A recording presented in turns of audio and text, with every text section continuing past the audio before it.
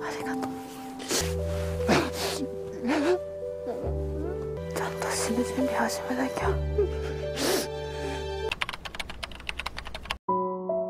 Film dibuka dengan memperlihatkan seorang wanita berumur 20 tahun bernama Matsuri. Tahun 2011, Matsuri mendapatkan cobaan yang sangat berat ketika itu. Dia diberitahu kalau dia menderita penyakit hipertensi arteri paru. dan dokter bilang kalau usianya maksimal hanya sampai 10 tahun saja paling lama. Suatu pagi Katsuri ngobrol dengan ibu yang kebetulan memiliki penyakit yang sama dengan Matsuri. Terlihat kalau ibu itu kondisinya sangatlah kritis dan di momen tersebut ibu itu memberikan kamera recorder Katsuri dan ibu itu bilang kalau Katsuri harus tetap hidup dan berjuang sampai di akhir nafasnya. Benar saja, setelah pertemuan itu ibu tersebut meninggal dan kata-kata terakhirnya menjadi penyemangat untuk Katsuri agar dia tetap hidup sampai akhir. Sejak saat itu pun Katsuri juga mulai mengabadikan momennya dengan merekamnya dengan kamera yang telah diberikan oleh ibu tersebut. Dua tahun pun berlalu Matsuri yang memang selama dua tahun ke belakang ini diharuskan selalu berada di rumah sakit untuk melakukan perawatan intensif. Akhirnya di hari itu dokter sudah memperbolehkan Matsuri untuk pulang ke rumahnya.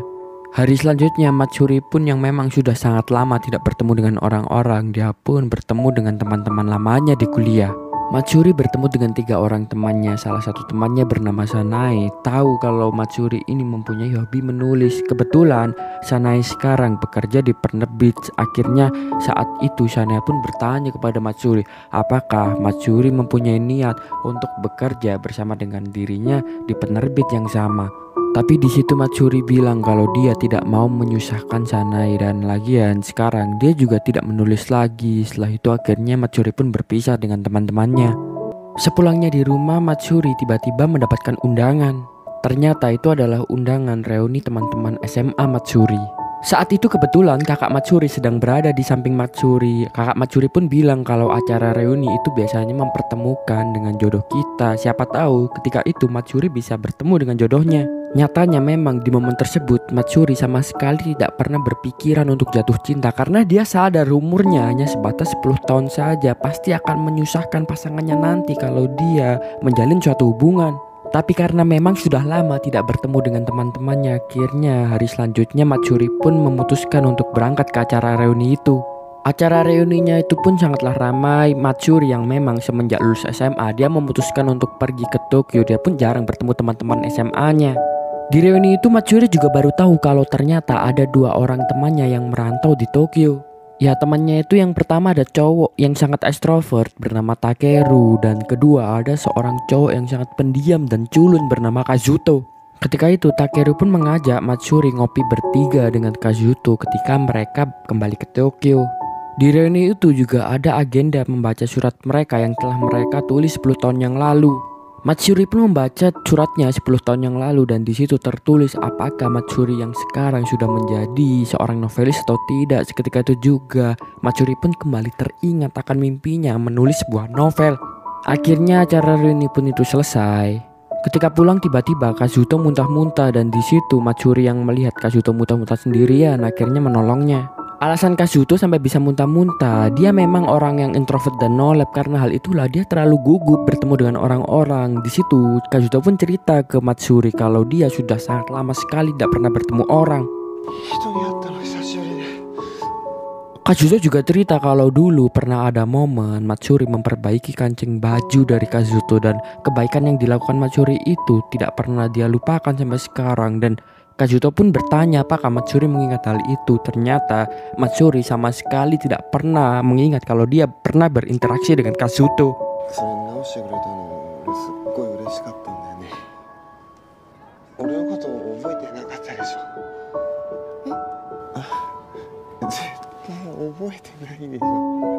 Beberapa hari kemudian memperlihatkan Kazuto yang berada di rumahnya yang sangat kacau keadaannya, makanan berceceran di mana-mana dan sangat berantakan sekali.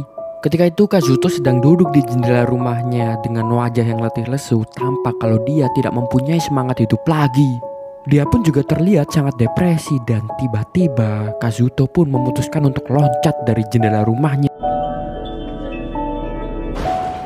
Pada waktu yang bersamaan di tempat lain, Matsuri memutuskan untuk melamar pekerjaan karena dia bosan di rumah. Tapi sayangnya karena dia mempunyai riwayat penyakit, dia pun tidak diterima di perusahaan itu. Untuk menenangkan pikirannya karena habis tolak, Matsuri pun memutuskan untuk duduk di taman. Tapi tiba-tiba dia mendapatkan telepon dari Takeru yang menyuruhnya untuk pergi ke rumah sakit. Sesampainya di rumah sakit, Matsuri pun diberitahu Kakeru kalau ternyata Kazuto baru saja melakukan percobaan bunuh diri. Untungnya dia tidak sampai meninggal ketika itu. Mereka berdua akhirnya setelah itu pun bertemu Kazuto. Takeru pun bertanya bagaimana bisa tidak ada keluarga Kazuto sama sekali yang menjenguknya di sini. Akhirnya di sini pun diceritakan Kazuto sebenarnya mempunyai orang tua yang sangat kaya, tapi Kazuto tidak mau diatur-atur karena itulah Kazuto memutuskan untuk merantau ke Tokyo. Semenjak memutuskan untuk merantau, orang tua Kazuto pun akhirnya tidak menghubungi Kazuto lagi. Selain itu, baru-baru ini Kazuto juga dipecat dari pekerjaannya karena itulah Kazuto pun menjadi depresi dan tidak mempunyai tujuan hidup lagi. Dia pun melakukan percobaan bunuh diri. Matsuri setelah mendengar cerita dari Kazuto, dia pun menjadi marah karena Kazuto ini terlihat sangat tidak bersyukur sekali. Dia berasal dari keluarga yang kaya, dia juga sangat sehat. Tapi bagaimana bisa Kazuto memiliki niatan untuk bunuh diri sedangkan Matsuri sangat menginginkan hidup seperti Kazuto bisa bebas dari penyakit andai saja dia diberi kesehatan seperti Kazuto pasti dia akan memaksimalkan hidupnya. Akhirnya karena hal itulah Matsuri pun memutuskan untuk pergi dari ruangan. Beberapa hari kemudian, Kazuto secara tidak sengaja melihat Matsuri yang sedang bersama ibunya sedang melakukan periksa di rumah sakit. Karena hal itulah akhirnya keesokan harinya Kazuto pun menelpon Matsuri untuk mengajaknya ngopi bersama Takeru juga. Keesokan harinya mereka bertiga pun bertemu di rumah makan langganan Takeru. Saat itu Takeru juga mengenalkan pemilik rumah makan itu yaitu Pak Gen. Pak Gen bagi Takeru seperti ayahnya sendiri karena semenjak Takeru merantau di Tokyo, Pak Gen lah yang merawat Takeru selama ini. Setelah itu Kazuto pun meminta agar dia bisa ngobrol berdua saja dengan Matsuri. Kazuto bilang kalau dia minta maaf atas apa yang terjadi di rumah sakit karena Kazuto tidak tahu kalau sebenarnya ibu Matsuri itu mempunyai penyakit. Ternyata di sini Kazuto salah paham. Dia mengira kalau yang mengidap penyakit adalah ibu Matsuri. Ketika itu Matsuri tidak berusaha untuk membenarkan Kazuto karena menurut Matsuri lebih baik Kazuto tidak mengetahui fakta yang sebenarnya kalau Matsuri lah yang mengidap penyakit tersebut. Setelahnya Matsuri pun hanya bisa tertawa dia pun bilang kalau dia sudah memaafkan Kazuto atas percobaan bunuh dirinya di masa lalu. Setelahnya Kazuto pun mengantarkan pulang Matsuri di perjalanan pulang. Matsuri membuka kameranya dan di situ dia merekam Kazuto. Matsuri pun bilang kepada Kazuto agar Kazuto tidak melakukan percobaan bunuh diri lagi. Akhirnya Kazuto pun bilang kalau dia berjanji kalau mulai hari ini dia akan hidup lebih baik lagi. Matsuri pun membalas kalau dia juga berjanji akan hidup lebih baik lagi.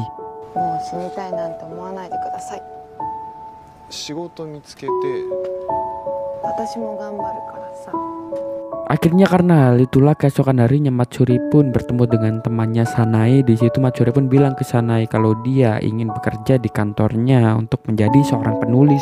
Beberapa hari kemudian Kazuto menghubungi Matsuri. Kazuto bilang kalau dia ingin ketemuan lagi di restoran tempat mereka biasa makan. Sesampainya di restoran Pak Gen di situ ternyata juga ada Takeru. Mereka kaget melihat Kazuto yang ternyata sekarang sudah menjadi pelayan di restoran tersebut. Dia menjadi pegawai dari Pak Gen.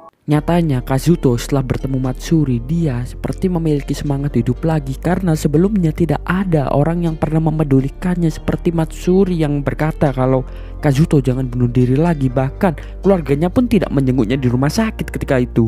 Semenjak hari itu pun mereka bertiga semakin sering berkumpul. Matsuri juga mengajak sahabatnya Sanae yang pada akhirnya Sanae pun juga dekat ke Takeru. Di situ dari hari ke hari mereka semakin dekat bahkan mereka pun seperti pasangan double date. Pada akhirnya Takeru pun akhirnya berpacaran dengan Sanae dan di suatu malam Kazuto memang yang sudah mencintai Matsuri di malam itu Kazuto pun menyatakan perasaannya. Di momen tersebut sebenarnya Matsuri juga jatuh cinta kepada Kazuto tetapi dia berpikiran kalau umurnya hanya sampai 10 tahun saja. Karena fakta itulah Matsuri pun takut kalau dia memulai hubungan dengan Kazuto nantinya ketika dia meninggal dunia Kazuto pasti akan kehilangan semangat hidupnya lagi. Dan karena hal itulah akhirnya Matsuri pun tidak berbicara apa-apa dia langsung meninggalkan Kazuto.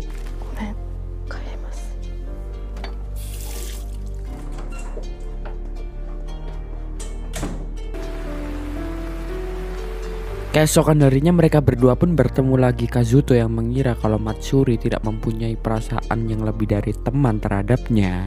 Karena hal itulah Kazuto pun minta maaf karena dia takut nanti Matsuri menjadi tidak nyaman.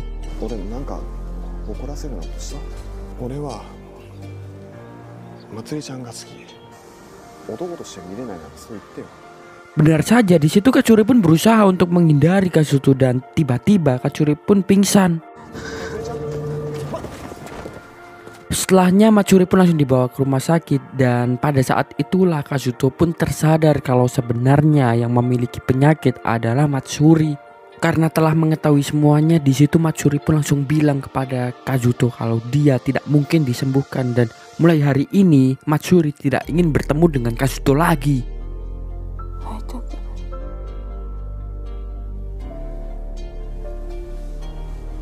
Karena hal itulah beberapa hari kemudian Kazuto pun menjadi sangat murung dan uring-uringan. Sampai di suatu malam Pak Gen melihat Kazuto yang terus melamun ketika bekerja. Melihat itu tanpa diceritakan oleh Kazuto, segera Pak Gen pun tahu kalau Kazuto sedang bermasalah dengan Matsuri karena Pak Gen sudah memahami siapa Kazuto ini. Pak Gen pun berkata ketika itu, bisa bertemu dengan orang yang kita cintai adalah keberuntungan. Dan cinta bukan hanya tentang memiliki dan dimiliki, tapi adalah soal perjuangan. Dan hidupannya sekali Kak Juto, pastikan kau tidak menyerah pada sesuatu hal sebelum mencobanya, karena kau akan menyesalinya.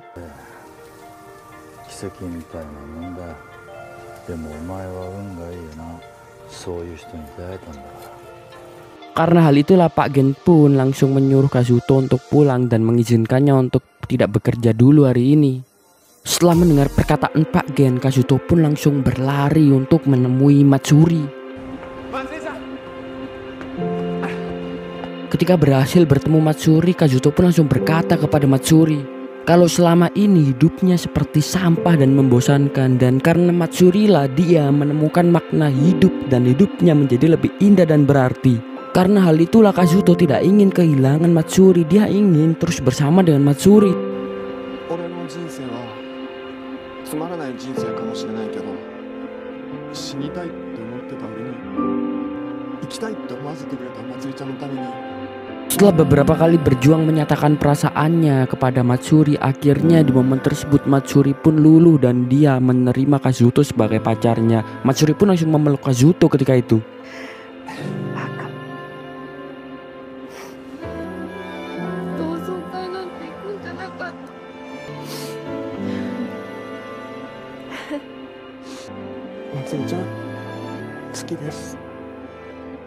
Semenjak hari itu mereka berdua pun semakin sering menghabiskan waktu bersama dan masa-masa tersebut adalah masa-masa yang paling indah bagi mereka berdua.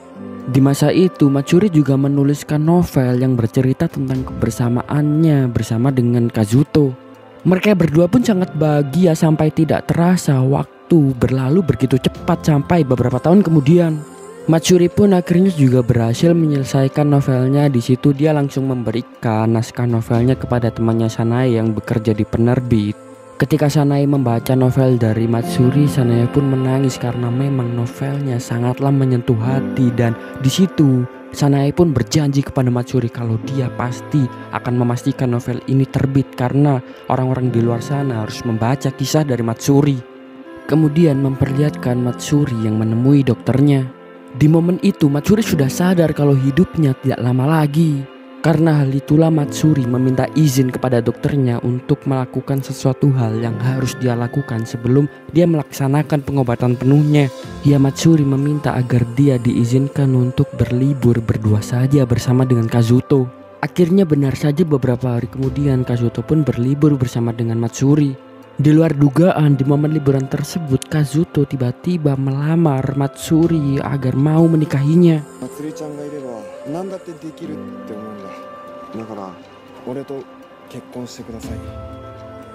Matsuri yang bingung menanggapi hal itu, akhirnya dia pun mempercandai Kazuto ketika itu. Setelahnya mereka berdua pun menikmati liburan dengan sangat bahagia sampai di hari terakhir liburan. Matsuri tiba-tiba tanpa izin berniat untuk pergi dari Kazuto. Untungnya Kazuto menyadari ketika Matsuri hendak berniat pergi, dia pun langsung mengejar Matsuri dan berkata apakah Kazuto melakukan kesalahan. Akhirnya ketika itu Matsuri pun terpaksa membicarakan isi hatinya. Matsuri bilang kalau Kazuto tidak salah apa-apa, yang salah adalah dirinya. Karena dia telah membohongi Kazuto, penyakit yang dia idap selama ini tidak pernah ada obatnya dan tidak mungkin disembuhkan. Karena hal itulah dia tidak bisa terus bersama dengan Kazuto.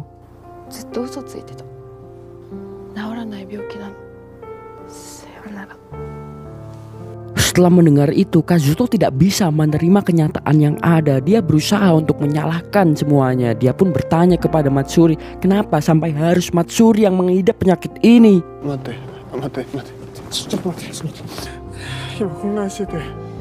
Nande, nande Matsuri ga? Matsuri pun hanya bisa menangis ketika itu karena dia juga tidak ingin mengidap penyakit ini. Terlebih lagi Matsuri sangat ingin untuk menghabiskan hidupnya bersama Kazuto. Dan memang fiksi yang membahagiakan itu lebih baik daripada fakta yang menyakitkan. Tapi mau tidak mau Matsuri pun harus kuat menerima kenyataan yang ada. Akhirnya Matsuri pun memeluk Kazuto ketika itu. Matsuri bilang kalau dia berterima kasih kepada Kazuto karena telah mencintainya dengan tulus dan menjadikannya pacar karena tanpa adanya kehadiran Kazuto selama ini pasti kehidupan Matsuri sudah hampa karena dia tidak mempunyai tujuan hidup lagi.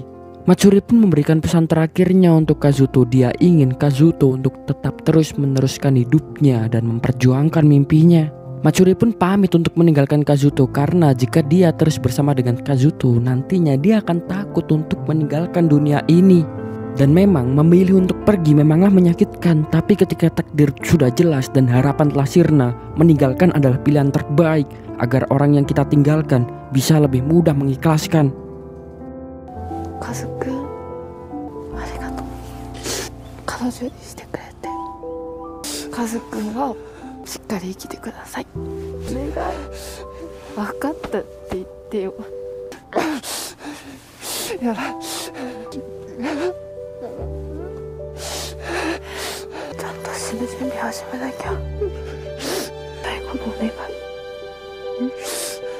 Selesai pergi meninggalkan Kazuto, Matsuri yang memang sudah terlalu lama berpura-pura tetap kuat, dia pun langsung menemui ibunya. Di situ Matsuri mengatakan semua keluh kesahnya. Matsuri bilang kalau dia sangat ingin untuk hidup lebih lama lagi karena dia ingin merasakan bagaimana indahnya pernikahan dan juga dia ingin merasakan menjadi seorang ibu di masa depan nanti.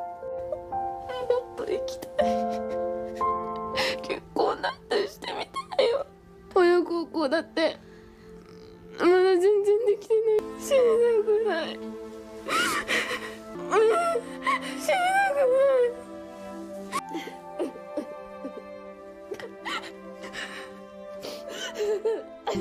Waktu pun terus berlalu, Kazuto tetap mengingat pesan dari Matsuri kalau dia harus memperjuangkan mimpinya karena hal itulah Kazuto terus berjuang untuk meraih mimpinya membuka restoran sendiri. Setelah berjuang begitu keras, akhirnya Kazuto berhasil meraih mimpinya. Dia berhasil membuka restorannya sendiri. Pak Gen pun bertanya Kazuto ingin menamai restorannya apa dan di situ Kazuto pun akhirnya memberi nama restorannya Matsuri. Di saat yang lain memperlihatkan keadaan Matsuri yang lama semakin lama semakin memburuk. Di fase-fase terburuknya itu Matsuri pun terus memandangi video dirinya dengan Kazuto itu menjadi penyemangatnya. Bahkan Matsuri pun terus membayangkan kenyataan yang tidak pernah dia capai yaitu bagaimana kalau dia menikah dengan Kazuto, bagaimana kalau dia mempunyai anak dengan Kazuto dan hal-hal yang lainnya yang tidak bisa dia capai. Kemudian di hari pembukaan restoran Kazuto ternyata di situ Takeru dan Sanae juga diundang. Di hari itu Sanae pun memberikan hadiah kepada Kazuto yaitu novel yang telah ditulis oleh Matsuri. Setelah acara pembukaannya selesai, Kazuto pun langsung membaca novel dari Matsuri sampai selesai. Setelah selesai membaca novelnya, Kazuto pun tersadar kalau begitu besar cinta Matsuri terhadap dirinya. Karena hal itulah sebelum terlambat Kazuto pun segera dia langsung pergi ke rumah sakit untuk menemui Matsuri. Sesampainya di rumah sakit, Kazuto pun langsung melihat keadaan Matsuri yang sangat-sangat kritis dan di situ dia duduk di samping Matsuri. Tidak lama setelah itu, Matsuri pun dalam keadaan kritis dan dia meninggal dengan tenang. Di akhir film memperlihatkan Kazuto yang membaca novel yang ditulis Matsuri berjudul The Last Strangers yang ternyata menjadi novel bestseller ketika itu. Di momen itu Kazuto pun juga telah merelakan kepergian dari Matsuri dengan ikhlas